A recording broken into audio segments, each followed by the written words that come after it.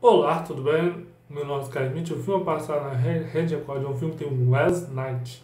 7 segundos, um filme de ação e suspense de 2015.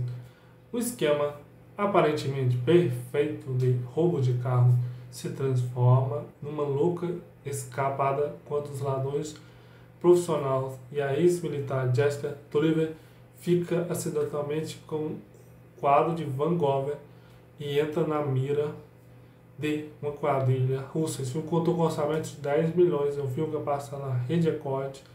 O filme 7 segundos, um filme do West Knight, conhecido por Blade Trinity Blade. E vários filmes ótimos. West Knight tá nesse filme. Se você gostou, vai passar na Rede Record. O filme 7 segundos, que é um canal. E até a próxima. Tchau.